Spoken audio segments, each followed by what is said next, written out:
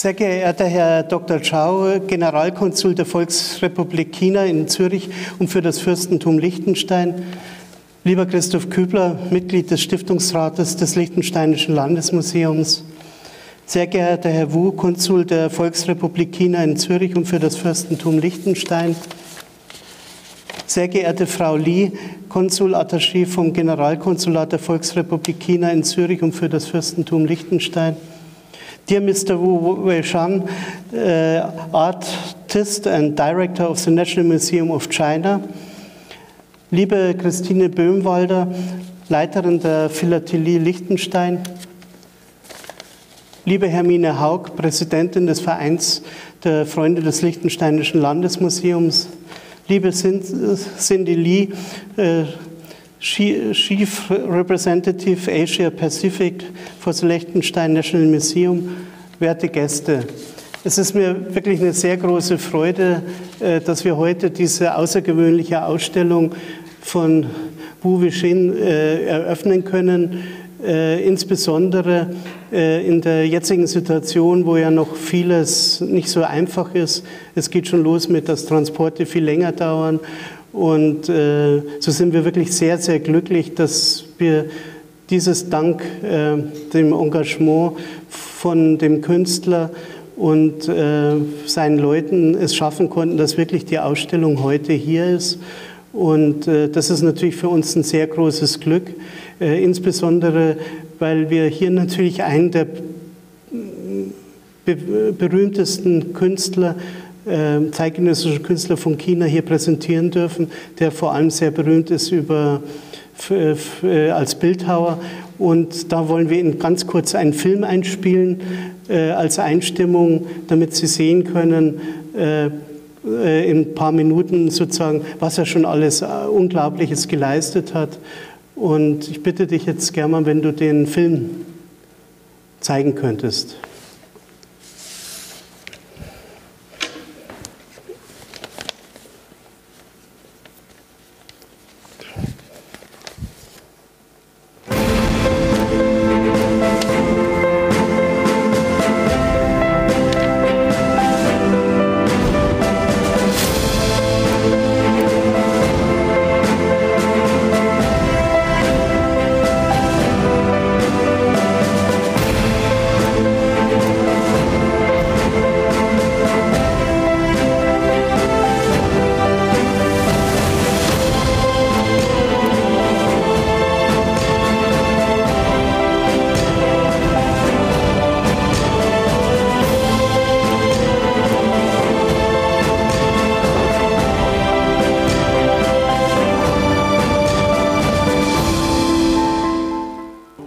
山出生在江苏东台的一个书香世家，从记事起就在父亲指导下学习唐诗宋词，古书里的插图和陶瓷器皿上的画作，成为他儿时的艺术启蒙。成年的吴伟山有了自己明确的追求，在全国恢复高考后，他先后六次高考，终于如愿进入南京师范大学美术系深造。后赴欧美游学，深入研究世界优秀文化。在近三十年的艺术历程中，创作了五百余尊极具学术价值和时代影响力的古今中外文化名人塑像，创造性的提出写意雕塑理论，为新时代中国文艺繁荣兴盛做出杰出贡献，为世界文明发展贡献中国智慧。中国力量。早在一九九九年，作为中国国家一级博物馆的南京博物院，就为年仅三十七岁的吴为山建立一个常设展厅——吴为山雕塑馆。此后，澳门理工学院建吴为山教授雕塑工作室。二零零一年，落成于南京大学田家炳楼的吴为山雕塑艺术展馆。韩国仁济大学建无尾山雕塑公园，吉林省长春世界雕塑公园矗立着吴尾山创作的大型孔子、老子等作品。二零一四年，山西省太原美术馆设无为山雕塑馆，陈列其经典作品。江苏无锡县仁解院无为山雕塑院，陈列他创作的三十二位无锡历史杰出名人塑像。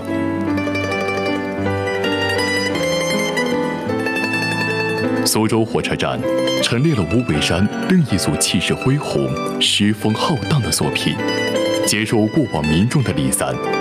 今天，无为山的雕塑作品几乎遍布中国各个省市，不断给人们带来审美愉悦的体验。吴为山的雕塑作品让人百看不厌、过目不忘，又往往引人哲思。从孔子、老子、杜甫、李白、齐白石到达芬奇，吴为山用雕塑讲述中国故事，弘扬中国精神，为文化塑像，为时代塑像，不断推动不同文明间的交流对话，塑造出文明交流互鉴、人类命运与共的美好愿景。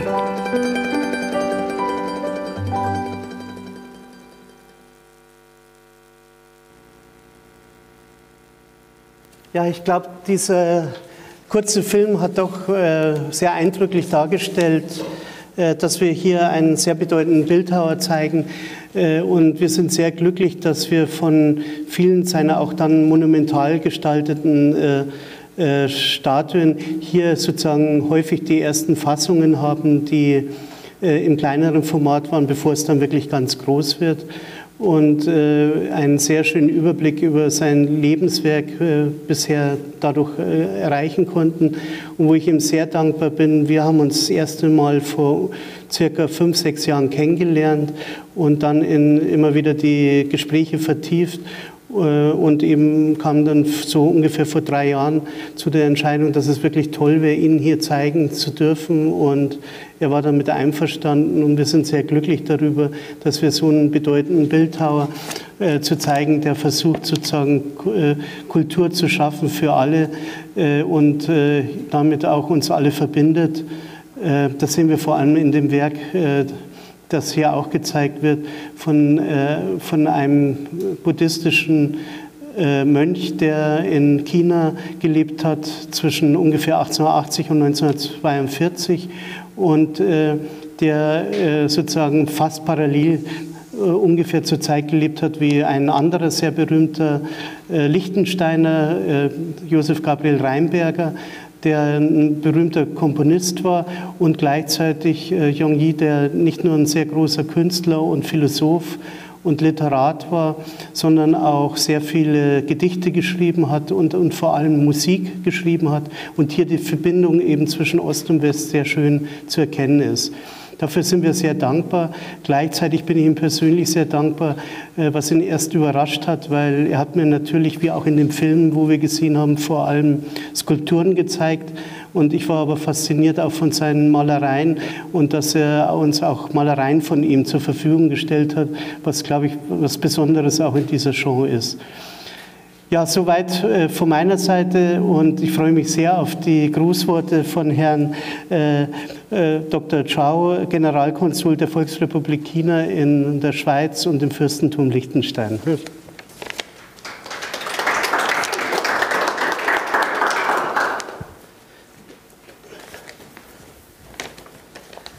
Sehr geehrter Herr Professor Dr. Vollkommer, Direktor des äh, Liechtensteinischen Landesmuseums, sehr geehrte Gäste, meine Damen und Herren, liebe Freunde, guten Abend allerseits.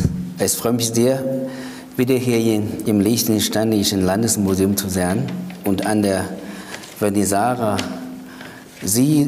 Seelensuche, Strukturen und Malereien von Uwishan teilzunehmen.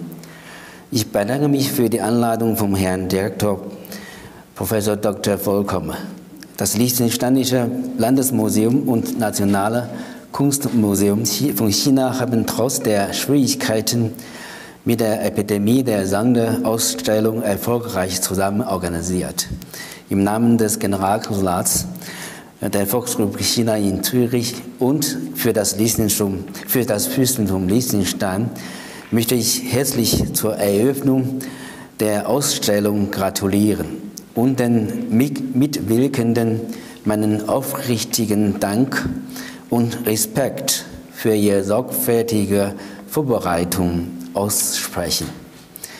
Die beispiellosen Veränderungen der Welt und die Epidemie des Jahrhunderts überschneiden sich und haben unser Verständnis dafür gestärkt, dass die Menschheit eine durch dick und dünn gehende Schicksalsgemeinschaft ist.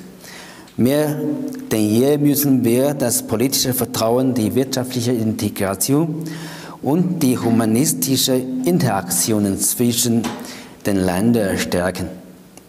Der Schlüssel zur Freundschaft zwischen den Nationen liegt in der Nähe zu den Völkern und dem Austausch sowie in der gegenseitigen Wertschätzung der Zivilisationen. Als Sprache und Bindeglied verbindet die Kunst grenzüberschreitend die Sinne und Herzen der Menschen über die Zeit und Raum hinweg und baut Brücken des gegenseitigen Vertrauens und der Freundschaft. Unter der Leitung von Dr. Vollkommen hat das Liechtensteinische Landesmuseum in den letzten Jahren mehrere Ausstellungen mit chinesischen Kulturinstitutionen etc. organisiert, die den Freunden Liechtensteins die Tür zur chinesischen Kultur geöffnet haben und zu Botschafter, Botschafter des kulturellen Austauschs und der gegenseitigen Wertschätzung der Zivilisationen zwischen den beiden Ländern wurden. Professor Wu Weishan ist ein renommierter zeitgenössischer chinesischer Künstler sowie ein Teilnehmer, Praktiker und Förderer des Kunstaustauschs zwischen China und dem Ausland. Die Freihand-Bildhauerei ist eine Verschmelzung traditioneller orientalischer Maltechniken und westlichen Ausdrucksformen. Und wir glauben, dass die Geste und die einzigartige Handwerkkunst seiner Kunstwerke spüren werden, die in der Tradition und dem Lernen von Ost und West verwurzelt sind. Darüber hinaus setzt sich Herr Wu aktiv für die Verbreitung Chine der chinesischen Kultur an und verpflichtete sich, mit allen Anwesenden zusammenzuarbeiten, um zur Förderung der, der humanistischen Kooperation zwischen den beiden Ländern zur Entwicklung der Weltkultur und zum, zum Fortschritt der menschlichen Zivilisation beizutragen. Die chinesische Kultur hat sich wie ein Fluss im, im Laufe der Jahre herausgebildet, angesammelt und entwickelt und Generationen von chinesischen Söhnen und Töchtern ernährt. Sie trägt die grundlegenden geistigen Gene, Gene des chinesischen Volks in sich und ist, das, ist die reiche Nahrung für das chinesische Volk, um weiter zu leben und zu wachsen. Trotz historischer Veränderungen und Dynastien über Tausenden von Jahren hat sich die chinesische Kultur gehalten und ist damit die einzige Kultur in der Geschichte der Weltzivilisation, die ungebrochen geblieben ist. Der Grund dafür ist, dass die chinesische Kultur es geschafft hat, angesichts fremder Zivilisationen sich zu bereichern und weiterzuentwickeln, indem sie alle Einflüsse anbeizogen und akzeptiert hat. So befürwortet die traditionelle chinesische Kultur beispielsweise Grundsätze wie Harmonie zwischen Menschen und Natur. Die Schönheit jedes Einzelnen macht einen Teil der gesamten harmonischen Schönheit aus. Und Harmonie trotz Unterschiedlichkeit, was sich auf den Zustand der Koexistenz verschiedener Dinge bezieht. Im Bereich der internationalen Beziehungen und der Kommunikation nach außen bedeutet dies, dass die Vielfalt der Weltzivilisationen und die Wahl der Gesellschaftssysteme und Entwicklungswege, die für jedes Land unterschiedlich geeignet sind, respektiert werden. Diese ideologischen Konnotationen und Werte sind auch in den klassischen Werken der Künstler im Laufe der Jahrhunderte in vielfältiger Weise verkörpert. In den, Jahr, in den, letzten Jahren haben sich die Beziehungen zwischen China und Liechtenstein dynamisch entwickelt und sich durch fruchtbaren Austausch und Zusammenarbeit in verschiedenen Bereichen ausgezeichnet. Letztes Jahr jährt sich die Aufnahme diplomatischer Beziehungen zum 70. Mal. Male. Staatspräsident Xi Jinping und seine Durchlaucht Prinz Alois haben Gratulationsschreiben ausgetauscht. Die zuständigen Institutionen beider Länder haben jeweilige Gedenkumschläge bzw. Briefmarken herausgegeben. Sie sind auch da. Die Exporte von Liechtenstein nach China stiegen in der ersten Jahreshälfte dieses Jahres um etwa 40 Prozent. Und die Importe aus China nahmen um über 30 Prozent zu im Vergleich zum Vorjahr. Und die Praxis hatte gezeigt, dass beide Länder ein gutes Beispiel für gleichberechtigte und freundschaftliche Beziehungen und eine für beide Seiten vorteilhafte Zusammenarbeit zwischen großen und kleinen Ländern sind. Und wir hoffen, dass diese Kunstausstellung das gegenseitige Verständnis und die Freundschaft zwischen den Menschen beider Seiten weiterführen wird und dass Menschen aus allen Gesellschaftsgeschichten die Entwicklung der Beziehungen und den freundschaftlichen Austausch zwischen den beiden Ländern weiterhin aufmerksam verfolgen, unterstützen und sich daran beteiligen werden. Wir haben gerade das Herbstmondfest gestern ne, gefeiert, das für Ante Schönheit, Glück und Zusammensteht, Zusammensein steht. Ich wünsche dieser Sonderausstellung einen vollen Erfolg und Ihnen allen gute Gesundheit und ein glückliches Leben. Vielen Dank für Ihre Aufmerksamkeit.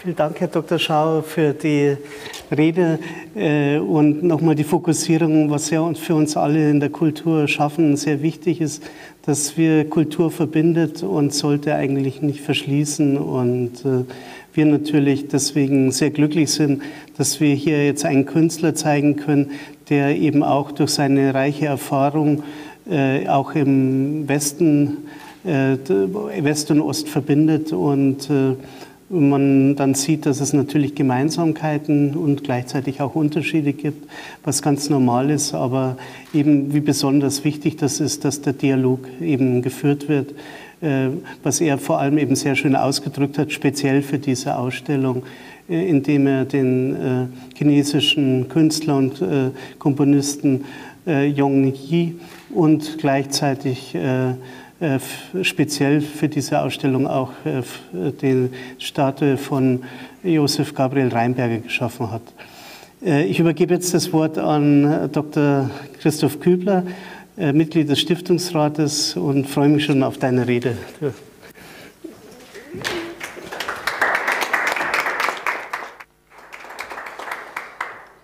Sehr geehrte Damen und Herren, auch ich darf Sie im Namen des Stiftungsrates ganz herzlich zur heutigen Ausstellungseröffnung begrüßen.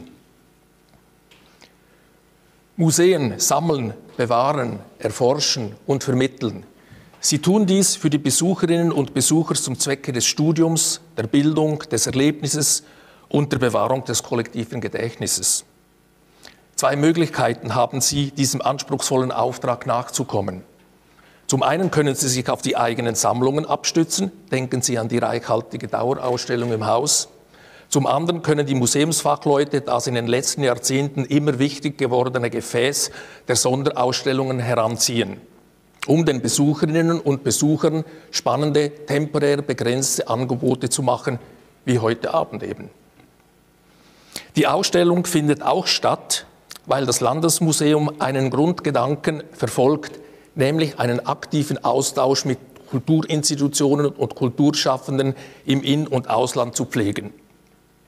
Und diesem Gedanken kommt das Museum dank der Ausstellungsprogrammierung von Direktor Rainer Vollkommer heute Abend mit der Ausstellung Seelensuche, Skulpturen und Malereien von Wu Wei-Zhen hochkarätig nach. Talentiert und scharfsinnig nennt Anna Coliva, ehemalige Direktorin der Villa Borghese in Rom, den Künstler Wu Wei-Zhen.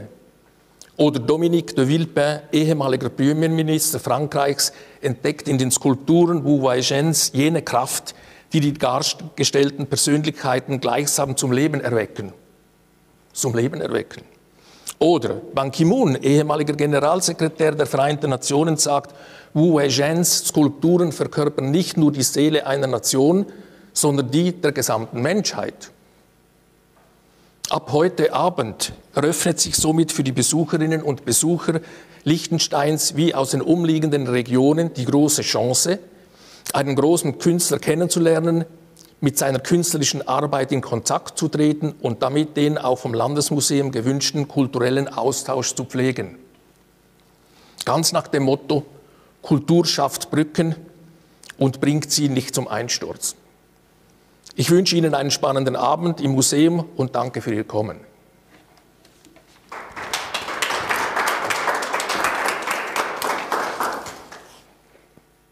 Vielen Dank, Christoph. Wir kommen dann äh, zu Christine Böhmwalder, äh, Leiterin von der Philatelie Liechtenstein, mit der wir sehr enge Verbindungen haben und immer sehr freundschaftliche, auch über das Postmuseum. Und es ist immer sehr schön, auch euch sozusagen hier zu sehen. Vielen Dank für dein Kommen.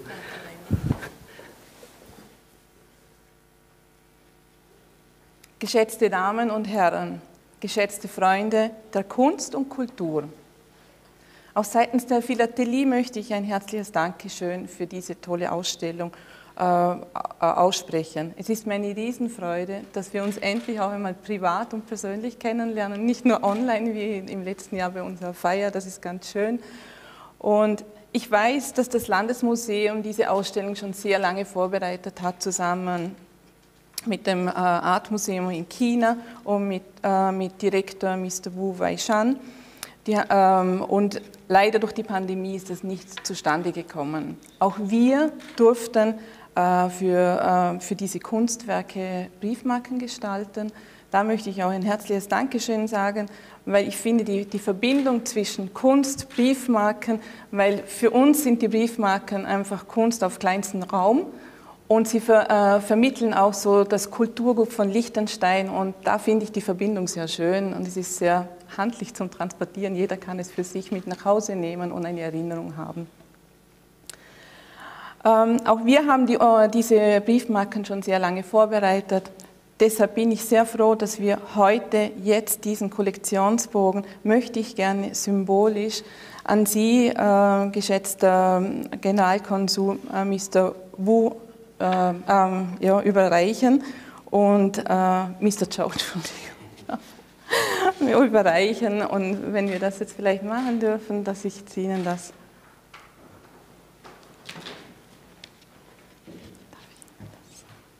Vielen Dank. Dankeschön als Erinnerung. Ja, sicher.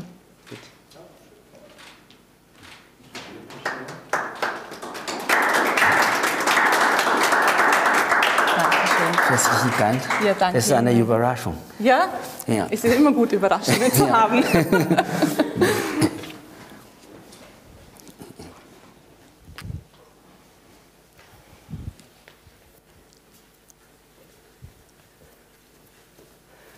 So, vielen Dank, Christine, für deine kurze Rede, aber trotzdem sehr intensive und wichtige und für diese Überraschung des äh, Bogens was natürlich was sehr Schönes ist. Und wie du eben sagst, äh, Liechtenstein ist nicht nur das Königreich der Briefmarken, sondern eben auch das äh, schafft eben immer noch Briefmarken von künstlerischer Gestaltung allerhöchster Qualität und ist damit Nummer eins äh, auf der Welt. Und, und wir sind sehr stolz darauf, dass sie das auch immer so weiterhin beibehält und entwickelt der Künstler und gleichzeitig eben ja auch Direktor von dem mitwichtigsten Museum von China, dem Nationalen Kunstmuseum in Beijing.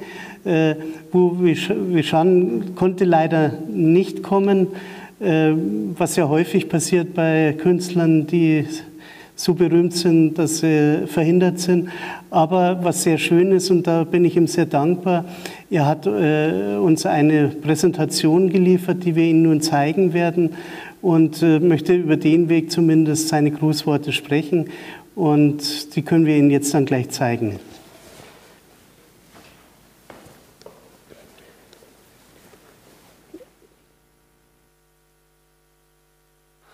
非常感谢啊，李子登斯登国家博物馆为我举办雕塑 与绘画的展览。李子登是等国家博物馆馆长吕禄先生曾于两千零一九年到访中国美术馆，并与中国美术馆签订了长期合作的啊这个框架协议。他本人也在中国美术馆举办了一个重要的啊演讲，那就是介绍希腊的文明。吕若馆长是一位在考古学、历史、啊艺术、艺术评论等等多方面具有成就的哲学博士、专家，我对他非常尊重。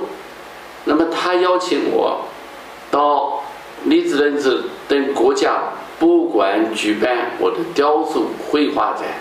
我认为这是对中国艺术的尊重，是希望通过他们国家的博物馆来推动中国艺术在世界的影响，特别是我所塑造的老子、孔子所绘画的那些中国历史上的人物，能在啊这个博物馆与大家进行一个文明的对话。所以，这是我也十分高兴的一件事情。我的作品在欧洲啊不少国家举办过展览，在德国、意大利、法国啊这个英国等等。但是，我认为这一次到历史认证国家去举办展览有着特别的意义，因为这是一个美丽啊友好的国家。他们盛产邮票，也就是以邮票为主义，啊，向世界来传达来传达友谊。那么同时呢，在这次展览当中，啊，我还为他们国家的这个著名的音乐大师的塑像，啊，奈因比格尔，奈因比格尔是一个管风琴。啊，这个方面的大师，同时他也是一个作曲家。啊，我在这个为他塑像过程当中，啊，也想起了我们中国一位著名的音乐家、画家、宗教学家，那就是弘一法师。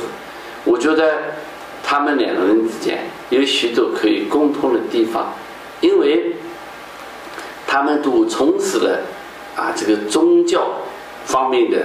啊，这个艺术探索与研究，啊，在宗教的音乐和宗教的研究这方面都很有成就。那么这样两位啊艺术大师啊音乐家，他们进行这个面对面的在林子仁国家博物馆啊对话，我觉得这本身也是东西方啊这个文化的一个交融，同时。互相倾听各自的心音，然后啊，通过这种方式，也激励全世界啊人民来为构建我们命运的共同，来建设我们最美好的家园——这个地球，来做出我们文化上的贡献。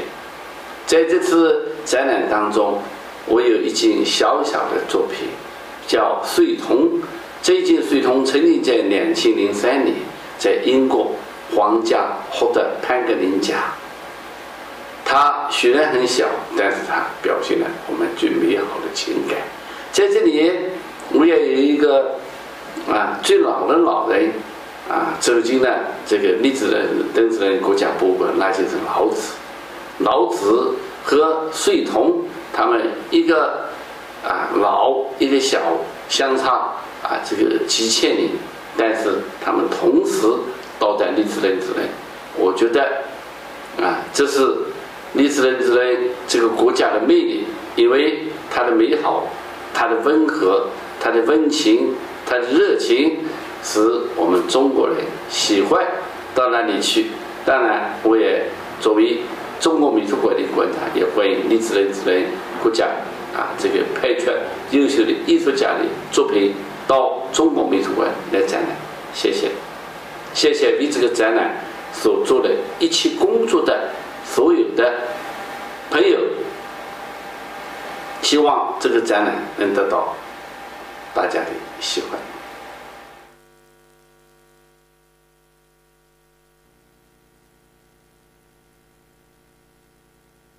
李森 Herrn Wu Wishan sehr dankbar, dass er uns äh, dieses Video übergeben konnte und äh, auch das betont, äh, was äh, wir in, in, all diesen mehreren Begegnungen, die wir hatten, immer wieder angesprochen haben, die Brücke ähm, äh, der Kultur sozusagen, dass wir ähm, sehr viele gemeinsame Gedanken in der Kultur haben und dieser Austausch natürlich für uns sehr, sehr wichtig ist.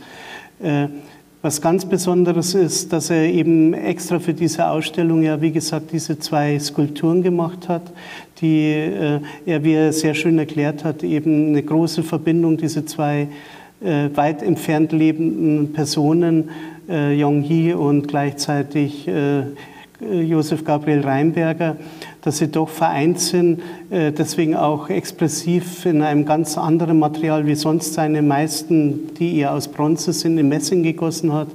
Und wir fühlen uns sehr geehrt, dass er die Statue von äh, Josef Gabriel Reinberger uns auch schenkt und wir sozusagen damit äh, auch hier etwas ganz Bedeutendes zeigen können, wo uns auch bleiben wird und verbindet. Und ich glaube, wenn ich mich erinnere, es, äh, da kennen Sie sich natürlich viel besser aus, sagt Konfuzius äh, immer, es ist sehr wichtig, auch einen Freund in der Ferne zu haben. Und über diesen Weg äh, sozusagen kann, können diese zwei Statuen Freunde bleiben in der Ferne und sind vereint durch die Ausstellung und später aber auch durch das Gedächtnis. Und äh, das ist natürlich was sehr Schönes und was sehr hochbedeutsames, dass wir dieses in der Form geschenkt bekommen haben. Und das ist wirklich noch ein großer Dank an den Künstler, der eben, wie gesagt, sehr stark versucht, auch immer die Seele in diesen einzelnen Skulpturen zu finden. Und bei der Seele merkt man dann doch, dass wir uns viel näher kommen, als, als wir denken. Vielen Dank für Ihr Kommen, äh, insbesondere auch an, die, an das Generalkonsulat von äh, Zürich, äh, in Zürich, äh, weil ich glaube, es ist eine Ihrer ganz seltenen Male, wo Sie jetzt wieder an die Öffentlichkeit getreten sind und wir fühlen uns deswegen auch sehr geehrt und vielen Dank, äh, dass Sie auch dabei sind. Und ja, ich wünsche Ihnen alle noch einen schönen Abend und hoffentlich auf demnächst. Und die Besucher und Besucherinnen vielleicht, die dieses jetzt verfolgt haben, äh, sind hoffentlich jetzt neugierig gemacht und sie können wirklich was Besonderes erleben. Und gerade auch bei Skulptur ist natürlich äh, es ist immer sehr wichtig, das vor Ort zu sehen, um die Dreidimensionalität äh, erfassen zu können ähm, und damit nochmal einen besonderen Moment haben. Vielen Dank für, äh, an alle und ja, hoffentlich auf bald wieder.